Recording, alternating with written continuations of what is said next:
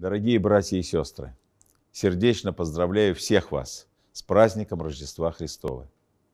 На протяжении тысячелетий Церковь воспринимает этот праздник как явление в мир света истинного, который просвещает всякого человека.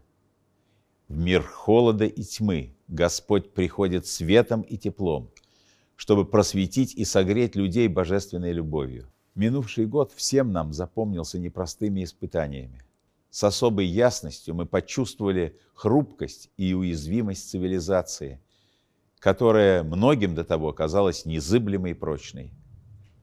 Однако гораздо более крепкой оказалась любовь к ближнему. Эта любовь простиралась от жертвенного подвига врачей и медицинских работников до нелегкого труда волонтеров и ежедневной заботы каждого из нас о тех, кто рядом. Находясь в изоляции, мы остро ощутили, что значит остаться без привычного живого общения, которого никогда в полной мере не сможет заменить общение виртуальное. Евангелие донесло до нас очень яркие и сильные слова Иисуса Христа. «Огонь пришел я не звести на землю, и как желал бы, чтобы он уже возгорелся». Как понимать эти слова? О каком огне может идти речь? Огнем Спаситель называет любовь, который погасил дьявол в человеке после грехопадения и которую Христос вновь возжигает в сердцах людей. Любовь есть самый верный признак Христа. Не случайно и своим последователям Он говорит, «Потому узнают все, что вы мои ученики, если будете иметь любовь между собой».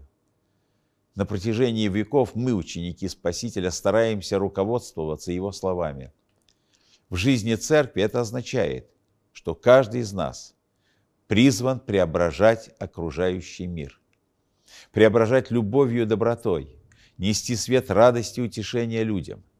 Для этого ведь и не нужны какие-то особые условия и обстоятельства.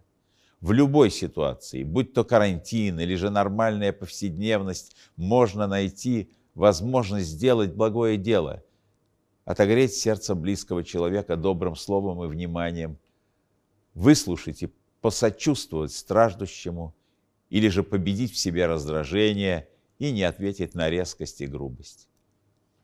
Мне хочется верить, что в новом году, помня об уроках прошлого, мы с еще большим трепетом и внимательностью будем относиться друг к другу. Пусть же свет рождественской звезды, теплый и согревающий свет явления Бога в мир, всегда пребывает с нами. С праздником, дорогие мои! с праздником Рождества Христова!